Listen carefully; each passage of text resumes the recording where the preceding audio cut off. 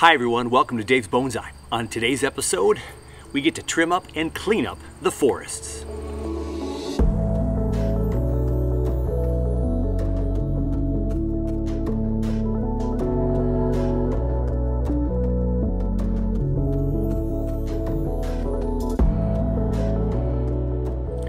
It's the second weekend in September and we have another absolutely stunning uh, pre-fall day. It's not officially fall yet, we're only a couple of weeks out from that.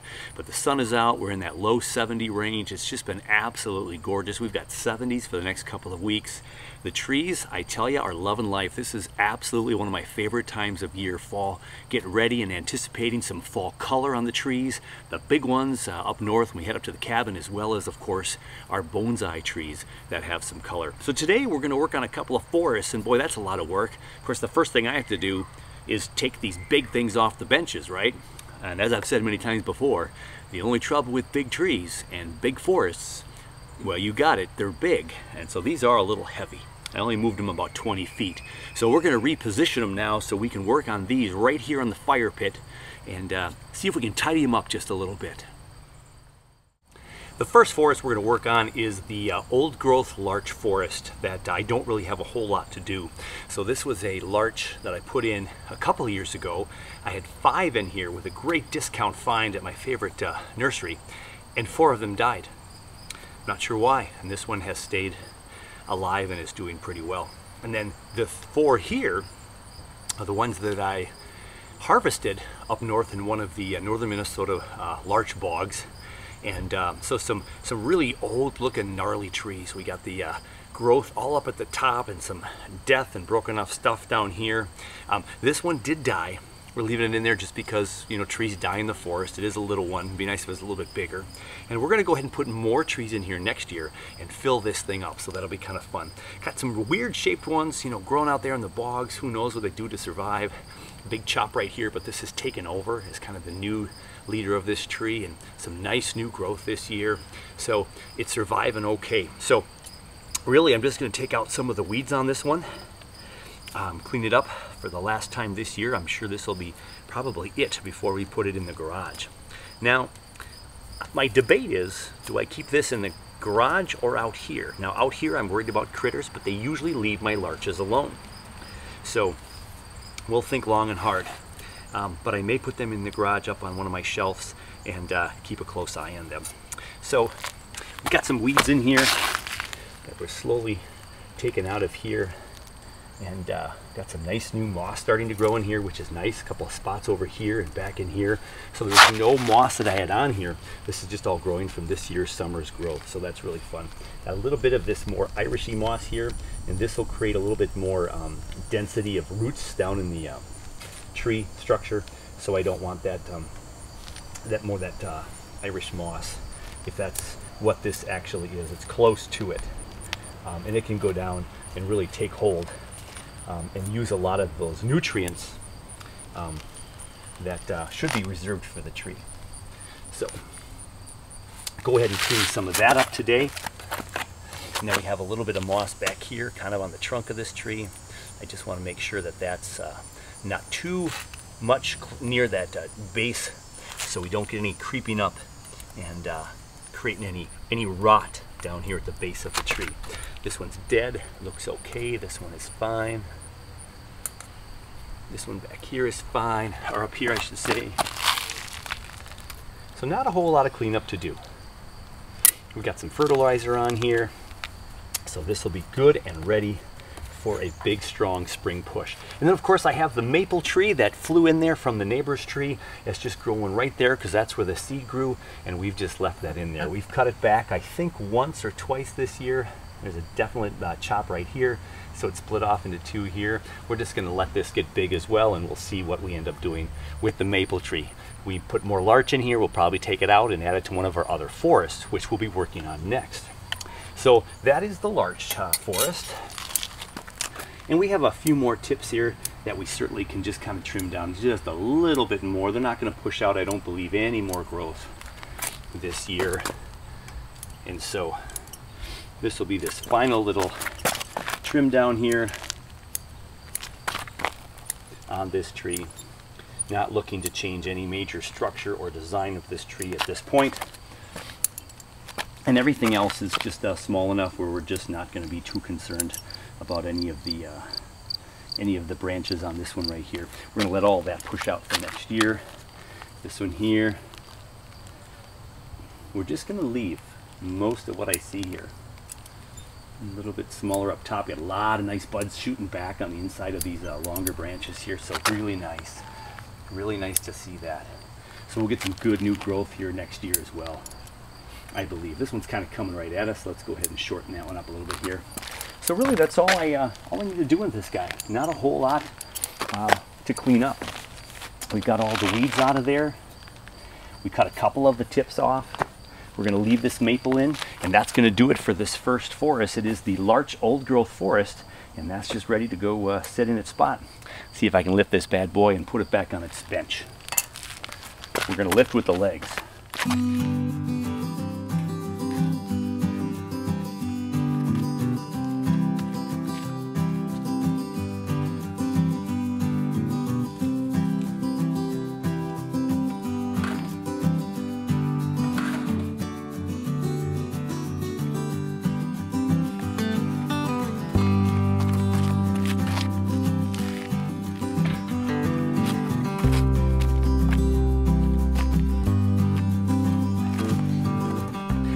Whoa, I'm okay. That was a little bit scary. A little wet back in there from watering earlier today. And uh, I'm wearing my, uh, kind of my sandals and uh, probably not very wise. And I slipped a little bit there. I gotta get rid of some of the rocks on these forests so they're not quite as heavy. I could probably lose five to 10 pounds of weight just with those rocks. So here we have Minnesota Forest number two, I believe I always call this one. You can go back on the playlist and check it out. And let's see if we can clean this one up. I had a viewer type in a question. Um, I think it was our friend Matt down in Connecticut. And uh, Matt was asking the question about uh, some of these final prunes in the late summer, early fall, and will that, will that create um, an energy change and trying to push out new growth or is it going to weaken the tree for the winter months? And I don't know the 100% answer to that, of course, because every bonsai tree reacts a little bit differently. Depends upon the growth rate of the tree and if it puts on, you know, multiple flushes in a year. So way different with pines and junipers and uh, your deciduous trees. I go back to the um, the main theme that I uh, talk about with the Minnesota Bonsai Society people and all the people I've talked to with bonsai, um, uh, you know, you can work on a tree I got to be careful how I say this, right? We can generally work on our trees um, multiple times of the year. I shouldn't say any time of the year, but we can work on the trees many times a year if they're healthy. So if they're healthy, it's a good time to work on them. But that doesn't answer the question, of course, whether it's going to drain all the energy out for the winter months. So I put fertilizer on here a couple of weeks ago. Um, we got that on close to the 1st of September, so we're coming up on two weeks. And all my trees are doing really well. The weather's really nice maintaining a close eye on the watering, and the trees are healthy. Now, I'm trimming a lot of trees this time of year because I have enough trees that if I don't start now, by the time I put them all in the cold frame, I'll have a massive day or two of not being prepared and I'll have to do a lot of trimming and I might force really quick trimming and, and force it fast and make some poor decisions. So I'm starting now in the earlier September months with the trees that I believe are gonna be okay. And so again, in general, look at this Siberian elm right here. So we just did the Siberian elms on the most recent episode and um, we cut them back to make them all fit nice into their pots so they'll have, we'll have more room in the cold frame, make watering easier, get at the trees easier. So this one I'm going to trim as well just a few days later um, and this one will be okay. Will it push out a little bit more growth? Um, it might. Now the reason why I'm feeling okay about the Siberians is because of all my critter chops through all the different seasons of the year. So when the critters come at these and pretty much take them down to just a stub, guess what? These, like a Chinese, or excuse me, like a Japanese maple, they just push out new growth um, like there's no tomorrow most of the time. So I will trim this down one more time now here in the second weekend of September, and it's gonna maybe put a little bit more energy and, and uh, into some possible pushing out of some uh, growth in the next couple weeks, but not very much. And it's gonna store all that energy So I'm not gonna I'm not gonna defoliate any trees this time of year because then there wouldn't be any photosynthesis going on. But I'm gonna leave leaves on here, just there won't be as many, and uh, it's gonna store enough energy to save this for the next uh, season of growth for sure. So we're gonna cut down the uh, the uh, Chinese elms here. We got a couple of them growing like crazy after some of the Japanese beetle damage. We've got uh, one of our big. Uh, this was um, this was a sucker from the original um, aspen that we had in here. So we have a Quaking aspen back here, and I believe this is either a Quaking aspen or it is a. I, I keep confusing which one these are. If there's a cottonwood in here, or if it's the Quaking aspen, um, we got one of these back here as well. And I have a couple more small ones growing back there. I might add to the forest and add a couple more Quakings in the middle in the spring. So we'll have all those yellow leaves in the fall uh, against the backdrop of the pine trees which is the dwarf Alberta spruces in the back there, which are all looking nice and good. And we got the new growth this year. The tips are looking fine. And we've got uh, a nice multi-Minnesota forest. Um, we got the elms, we've got the quakins, and we've got the pine trees. And I had a couple maples in here, but they have died off, but we have extra of those in the yard. We might be able to put those in. So let's trim this up. It's looking real thick and bushy. You can't even hardly see the trees through the front trees. So we have to do some, um, some pruning. Now, as I look at this Quaking aspen right here, what's good to see is I've got buds here, I've got buds here, I've got buds here. If we chop this right here, we're gonna get new growth on those new buds next year, but I don't wanna completely chop this one back. So I'm just gonna shorten it up just a little bit so we can just see the forest a little bit, and we're just gonna go ahead and leave it like that. Now I've got plenty of uh, green on here to continue some photosynthesis uh, on this tree, and we'll be fine to keep this storing energy for the year.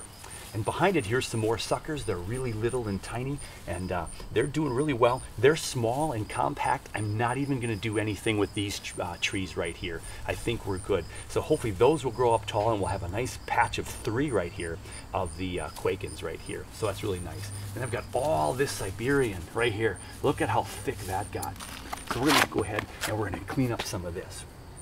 So we're gonna do pretty aggressive on these because again, I know these will grow super fast and they will put on new uh, growth next year and we'll be just fine. So a lot of really nice growth on here.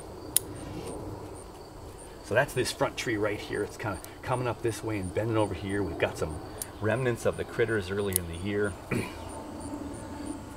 could almost cut this one off right here and just let this be the tree, but we're gonna leave them both on for right now.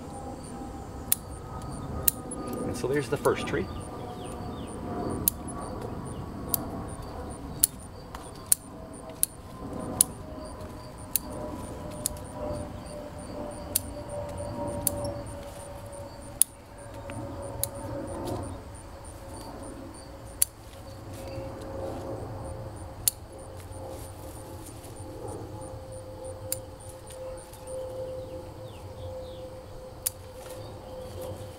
There's our second tree. And it looks like this one right here is just growing a little bit too too awkwardly into the other part of the forest. It didn't, didn't look real healthy. So I'm going to cut that one off. And we'll let that tree focus more on this side for the growth. I'm also going to cut this big thicker branch off right here. Because that'll, I think it'll supply more energy to that right there. And we'll get some more growth there. So just trimming this down to size. And every time I've cut back these Siberian elms, they come back really, really well. So we've got a tree that's kind of curving up here, fun. We'll hopefully get some more back budding in this tree next season. And uh, we'll determine where this thing is going to grow here over the course of next year. Always going back to, you know, two to four, sometimes six leaves. And all of that has plenty of photosynthesis to keep this thing getting ready to store more energy for the winter. This one back here has kind of a split trunk down below. Again, this almost looks like a sucker from the original tree, and it did shoot up really, really well. We have some nice division back here, but we don't care about the top division right now. We're gonna just cut this thing back so it continues to uh, grow up, thicken up that bottom part of the trunk for a little bit here as we decide what trees will make it in this forest long term down the road. Again, we're just gonna get this thing cleaned up for winter storage.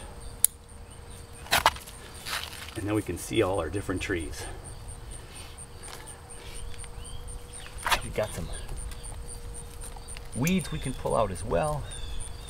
And that part is all tidied up right there. Um, I may decide to take this one off next year and just grow this one. This one's growing real nice. It splits real nice into kind of your, your common Y tree. But this back here might get lost in this tree. So let's go ahead and just take it off right now. Now we have this cluster here and doesn't impede with this forest right here, this part of the forest. And then I might end up taking this one off so we just see these two trees. But I like this one at the moment. It's got some fun movement and it's now got a branch that's growing back up this way so we could see some nice movement of that tree, uh, especially if we ever use it as a solo tree someday. And uh, let's get rid of this that's shooting off to the side here. Still some damage from the old uh, Japanese beetles on some of these leaves, but they've pretty much gone for the season, I think. So we cut this down just a little bit. We've got this lower growth down here, the taller tree up here, the pine trees that are really up high. Um, got a dead branch right here on the um, on the uh, dwarf Alberta. We can make those into jins later on. So back here we have the great big tall cluster of now three. So what was nice about this um, quaking aspen um, or cottonwood is that we got a sucker back here. So now we have a, uh, we've got three trees back in here, which are forming up real nice. This one's growing up slow. It's still alive right here. Um, it, we had a big chop earlier in the year, but it's grown a new branch, so that's really nice. I'm just gonna cut it back just a little bit. That's looking nice. And all these leaves are just gonna fall off this fall. So there's the little tree uh, from the chop. This is the one that survived. It's got this uh, kind of this split into two right here. And we see we chopped it right here and we got this new growth right there. I'm just gonna leave that. I'm not even gonna mess with that one. This is the new sucker one though, and we're gonna cut that one down just a little bit shorter. This back here, we've got a split that's pretty high. I think I'm gonna bring that one back down. Cut off this big leaf here. And there's already new buds inside some of these uh, big leaf structures so we could get some more ramification next year. But again, we, we've lowered everything, we've compacted everything for the winter storage. All these leaves will fall off, these will be twigs, and then we'll get some uh, new growth down here a little later on. I'm contemplating cutting this one off because we've got this growth right here. So we got the tree that comes up and then it comes up over this way, but I do like having multiple trunks there.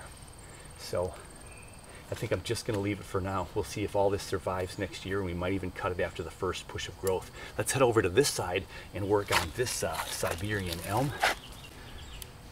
Siberian, right? Not Chinese, Siberian. I hope I didn't say Chinese before. I do have one of those, but these are the Siberians. Okay, so we go ahead and we cut off some of these. We're just making these shorter, going down to uh, four to six leaves, maybe less in some cases. And this is just a real nice, fun tree. So it's got a nice little movement this way, comes back and wiggles up around this way, and it's got this new branch here now. It's pretty straight, unfortunately, but hopefully we'll get some nice growth in the coming year. We'll be able to make a cut or two to, to make this grow at a different angle. Um, but for right now, it's, uh, it's a decent uh, looking tree. Looks like a small little tree for sure. And we're just cutting it down to make it more compact as we get ready for winter storage.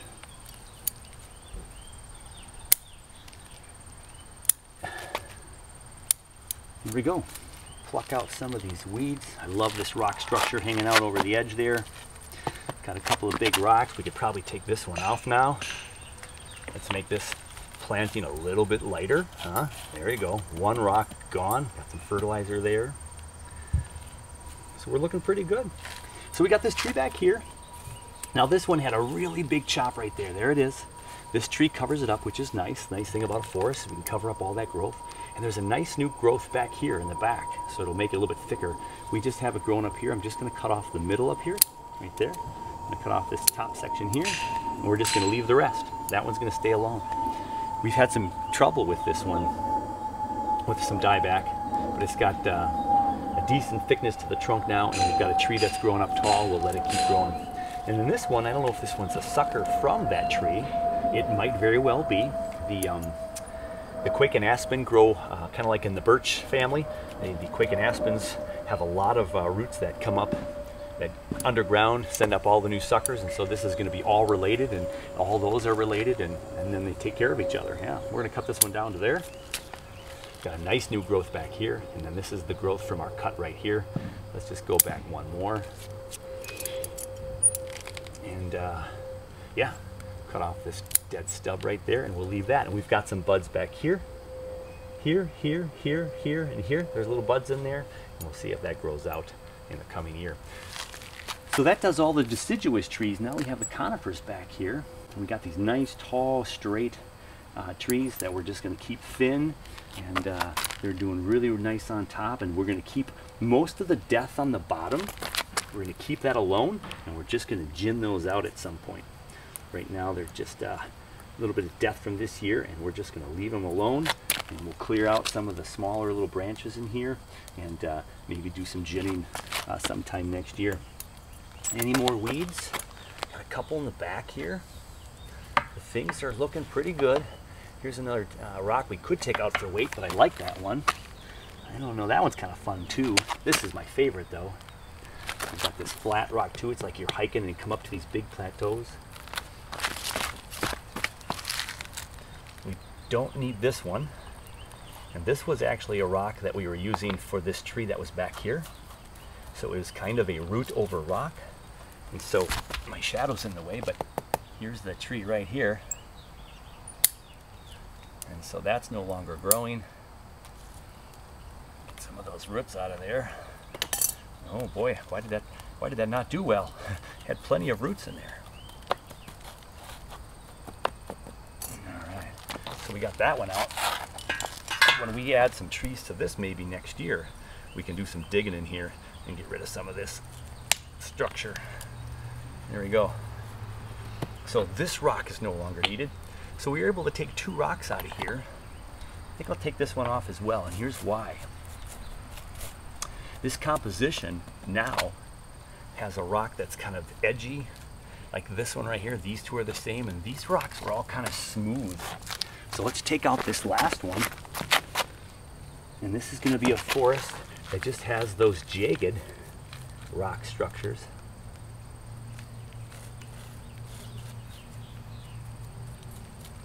and not the smooth rocks. So it looks very similar, very consistent. There you go, get the fertilizer in there. There we go. So now we probably lost a couple of pounds. We hope we lost a couple of pounds because it's time to lift it again. So there we have Minnesota Forest number two. We trimmed things up. This will probably go in the cold frame, but we've got plenty of time out fall weather like in the 70s for a couple weeks. Let's put this back on the bench and try not to slip this time.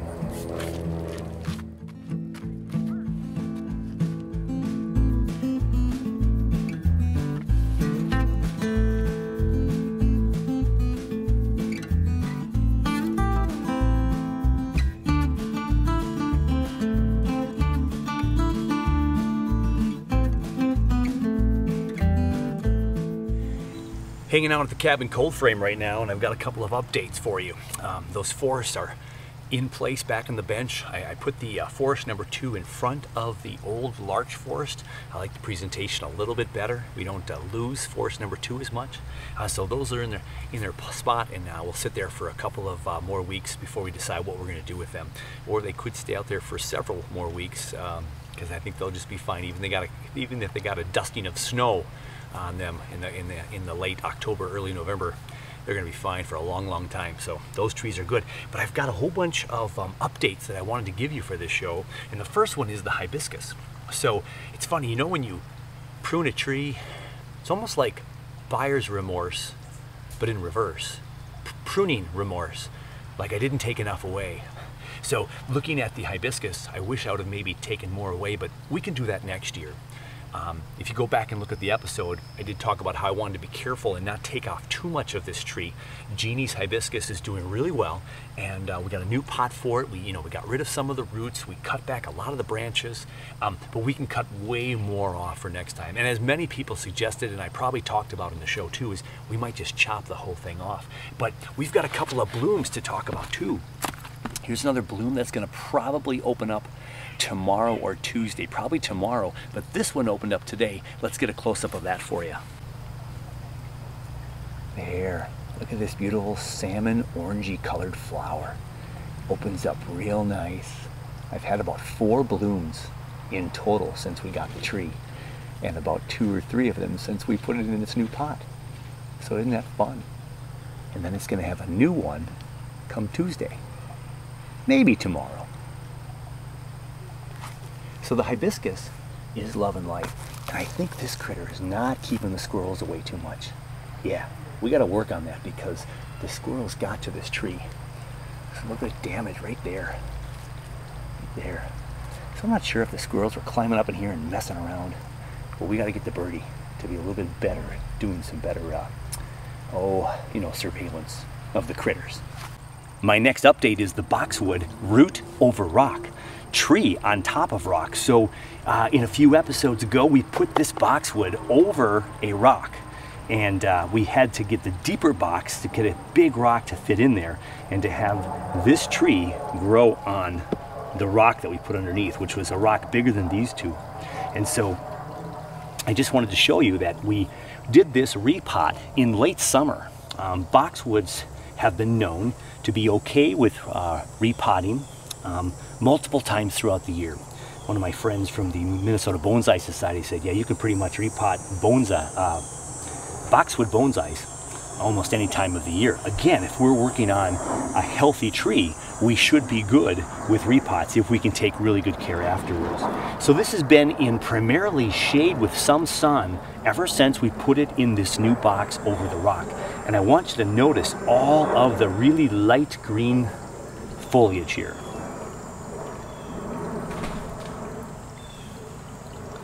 So on the back, up at the top. In the front, I'm really excited about this growth here again because we needed more fill in here and this one's growing this way as well and these down here will fill up some of this space as well. So we have a lot of growth, probably a good inch to two inches in some spots of new growth since we repotted in the middle of summer this boxwood over the uh, rock. So I've kept this in here for stability. I don't even know that we need it anymore. It's really heavy and solid. And so that is the boxwood, so that's really nice. I'm gonna push that aside a little bit for our Ming Aralia. So when I was looking for my $50 challenge tree, I came across this Ming Aralia and it's the variegated style and I was really, really taken by this tree and I wanted to do this as a tree on my own. So we put a little bit of inner tube in between our little root system down there um, that you can still see and we have a rock down here that's kind of splitting these um, roots a little bit more, split them apart a little bit more. And we have some fertilizer on here now since of course I repotted, I added some fertilizer and everything's looking really good. I've got some new growth on here. There's new buds that have shot up an inch or so. We've got a nice uh, bit of little new growth in here, really thickening up, really nice in here. A lot of tiny new growth in here with the really nice looking variegated leaves. So I'm super happy that the Ming Aralia is doing really, really well. And it also has stayed pretty much in this kind of uh, mostly shaded area because uh, these leaves, uh, especially with the variegation, a lot of the leaves can be a lot more finicky, a lot more uh, um, sensitive and so in the full light I had noticed these were uh, getting a little bit of a burn on them so I've kept them in more shade and boy it sure liked the uh, partial sun versus the full sun doing really really well so we have the Ming Aralia we have the boxwood they both are doing really really well after their repots this summer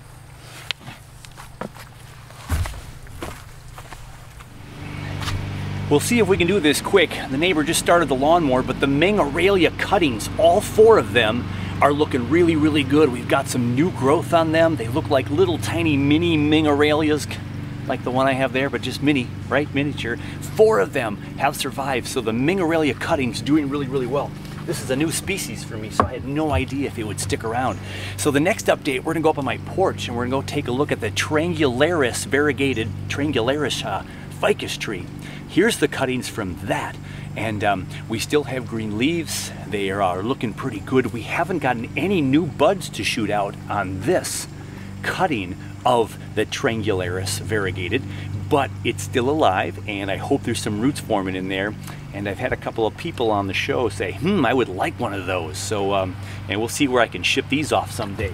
So we have the Ming Aralia and we have the uh, variegated Triangularis uh, ficus doing okay. Let's go look at the main tree though of the Triangularis ficus. So it appears that the neighbor wanted to cut the backyard first. I thought he went up around the front yard and it was going to be quieter, but didn't work out. So the final update, we're in the front yard where it's a little quieter here until some cars go by, and we have the uh, variegated Triangularis ficus. And so we had a little bit of um, leaf burn in the full sun uh, after the repot uh, about a month or so ago. And I was nervous about the leaves. They had a little bit of brown on them, and they all are doing fine. They're still alive. There's a few spots that don't look as pretty. But in just the last week or two, finally, after a very slow, what is this tree going to do? I'm starting to see some new growth in multiple locations. So let me zoom in a little bit and show you some of the new growth. I just zoomed up on the tree for you to show you some of the new growth, which is getting me really, really excited. I hope we can keep this tree out for another two full weeks. We're gonna have sunshine, we're gonna have 70s for highs, and hopefully these leaves will start to push out and get a little bit bigger. But look right here, the new leaf right there and there, and here and here. Here's a new leaf right there. And there's one on that side, and there's a little one right there. If we pull this aside, look at this little guy right there. Now this one looks like it's all white. Might not even be variegated. I don't know if that's from the stress, but there's two right here by my finger, variegated. These two right here are some of the bigger new ones. Let's come up here and bend this one back and look right here. We've got two there. We've got one right there. We've got a couple of young ones just sprouting up in here. There's one right there. We've got a couple in this cluster right here that are growing out, and there's one there by my finger. So we have some new growth throughout the entire tree. Little tiny new little buds coming out and shooting up. One off of this tip right here. And so the Triangularis variegated ficus is alive and well and all the little brown spots from that leaf burn, um, they're slowly going away. Some leaves have fall uh, fallen off but the new growth is there. So as this goes into kind of, it's in that energy positive, it wants to push new growth. We'll keep it outside for about another two weeks, and as those lows get down into the 40s regularly, I think I'll take this one inside, one of my first ones to bring inside, again because it's a new variety for me. So there are some of the new buds on the Triangularis variegated ficus. It is proving to be a fantastic fall so far. Let's keep our fingers crossed we get a little bit more growth and we store a whole bunch of great energy to all these trees so they're ready for the winter dormancy in some cases and then some of the tropicals getting ready to go inside to a whole new environment or sometimes these ficus will just drop their leaves because they're the finicky ficuses and then they'll get uh, established in the plant room and start growing down there. But some fun updates for you here. We got those two forests trimmed up, cleaned up, the, the uh, weeds are gone and they're just ready for whatever nature's to uh, give it, the, the forest for the next couple of weeks. It's just been a lot of fun. So, hey, let's wrap this one up, and we got more stuff to do here as fall sets in here, only a couple weeks away. In the meantime, hey, take care of you, take care of your bonsai, and we're to catch you very soon on the next one.